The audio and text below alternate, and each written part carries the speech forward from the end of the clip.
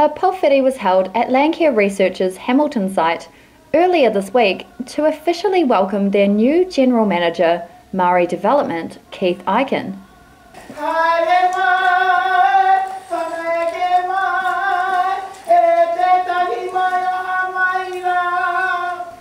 Landcare Research CEO Dr. Richard Gordon says Keith brings a wealth of experience to the role.